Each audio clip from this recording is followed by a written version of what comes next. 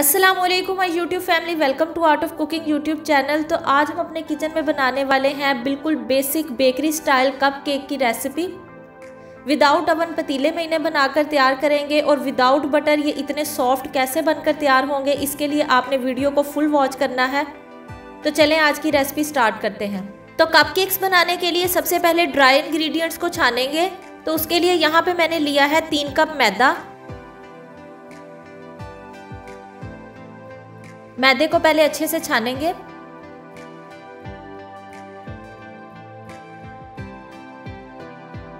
अब नेक्स्ट जो चीज़ हम छानेंगे वो है baking powder one tablespoon baking powder को भी यहाँ पे छान लेंगे। दोनों चीज़ों को छानने के बाद अच्छे से मिक्स करेंगे और एक साइड पे रख देंगे। अब नेक्स्ट स्टेप जो हम करने वाले हैं, उसमें मैंने यहाँ पे लिया है डेढ़ कप घी। आप कोई भी बनास्पति घी इसमें इस्तेमाल कर सकते हैं। फिर इसमें ऐड करेंगे दो कप चीनी। नॉर्मल घर में जो चीनी हम इस्तेमाल करते हैं, वो वाली चीनी हम इसमें यूज़ करेंगे। अब यहाँ इन दोनों चीज़ों को पहले अच्छे से मिक्स करेंगे।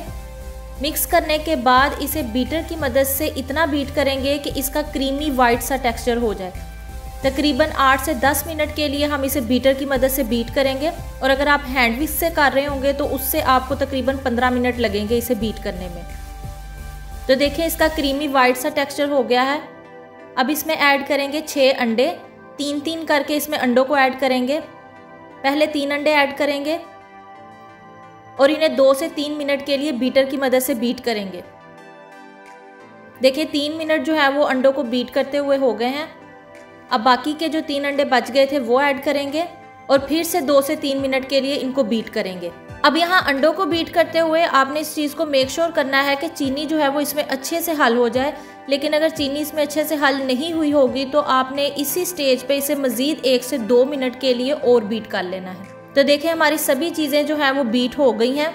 अब नेक्स्ट हम इसमें ऐड करेंगे three tablespoon fresh lemon juice फिर इसमें जाएगा one teaspoon lemon essence one teaspoon इसमें ऐड करेंगे येलो फ़ूड कलर अब यहाँ इन सभी चीज़ों को तकरीबन एक से दो मिनट के लिए बीट करेंगे. अब लास्ट में इसमें ऐड करेंगे मैदा और बेकिंग पाउडर जो हमने पहले छान के रखा था. हाफ़ पहले ऐड करेंगे और 30 सेकंड के लिए इसे बीट करेंगे. 30 सेकंड बीट करने के बाद अब बाकी का बचा हुआ मैदा और बेकिंग पाउडर भी इसमें ऐड कर देंगे. और 30 सेकंड मज़ीद इसे बीट कर लेंगे।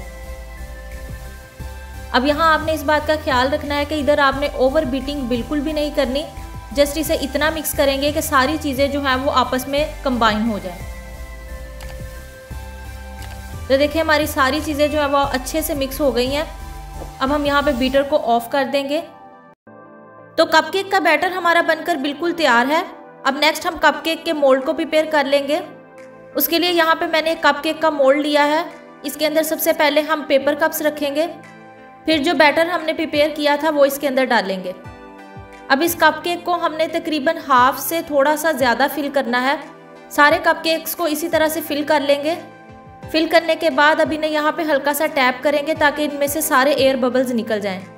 अब इन कपकेक्स को हम विदाउट अवन बेक करेंगे तो उसके लिए यहाँ पे मैंने एक कढ़ाही को 15 मिनट पहले गर्म होने के लिए रख दिया था।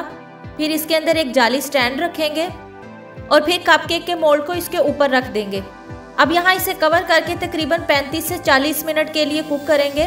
तो देखिए 40 मिनट के बाद हमारे कपकेक्स बनकर बिल्कुल तैयार हैं। बिल्कुल बेकरी स्टाइल सॉफ्ट ये कपकेक्स बनकर तैयार हुए हैं।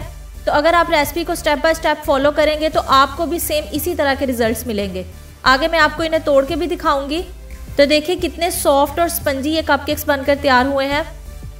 तो अगर आपको मेरे बेकरी स्टाइल कपकेक्स की रेसिपी अच्छी लगी हो तो इसे लाइक और शेयर कर दें।